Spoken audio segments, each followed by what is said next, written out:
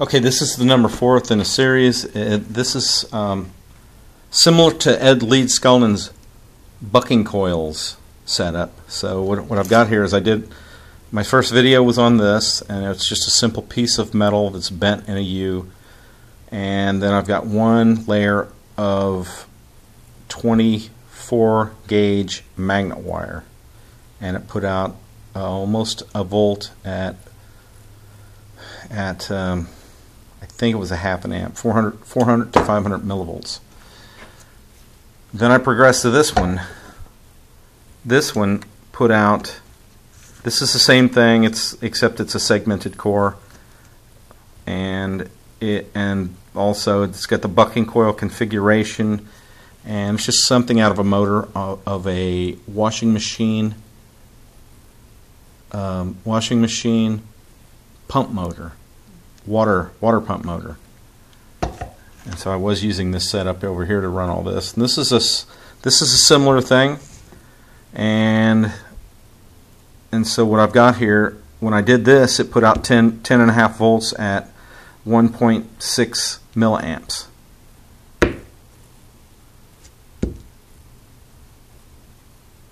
Or uh, excuse me, 100.16 milliamps. So this is this is a little different. This one is basically that and this are the same.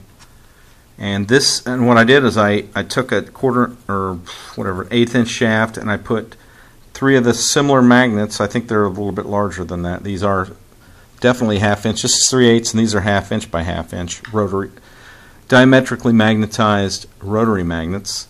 And so um, but I, I took them and I, I put north all on one side and then south all on the other. And there is a lot of drag on this. It wants to pull from side to side, which is normal. And so I've got the same um, coils underneath here. It's um, I don't know how many feet that is, but I'm thinking it's between 150 and 300 feet, which is a lot of difference, but not much compared to what you're about to see. I I hope.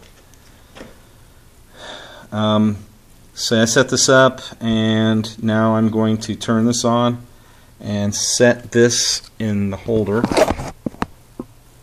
And I hope you can see. Let me get this up a little bit so you can see the numbers a little bit better. And so what's going to happen here is I've got to hook this up Okay? And what's going to happen here is you're going to see how many volts and amps this puts out. This is running a lot faster. My my uh, my drive motor runs, but it says it goes up to 30,000, but I doubt if it's turning 30,000 volts. It might be maybe turning 18 to 20,000 at tops, but on the low side it says it runs at five, and I'm thinking it's going to run a little bit less than that. So, um, and it's got a variable speed on it. So I'm going, and it runs on 110 volts at 0.89 amps, I believe.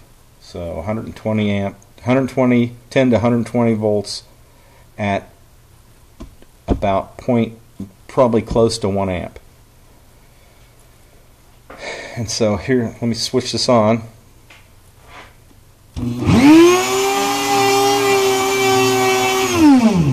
Okay.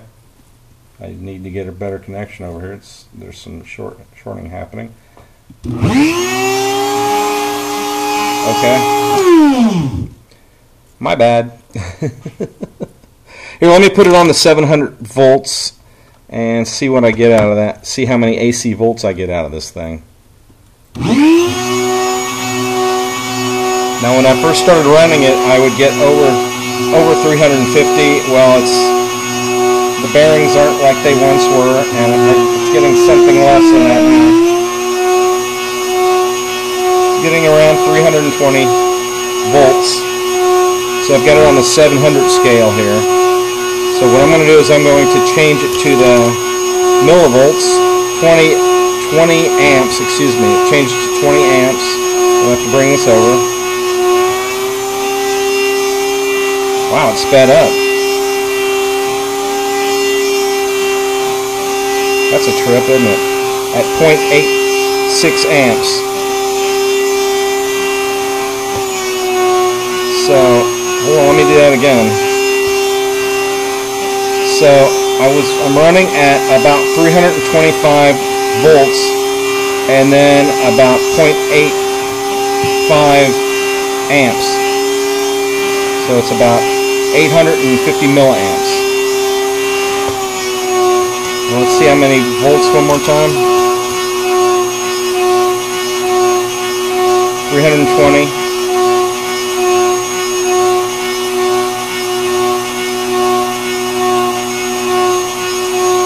All right, well, I'm uh, I'm gonna do a couple more videos, so stick around.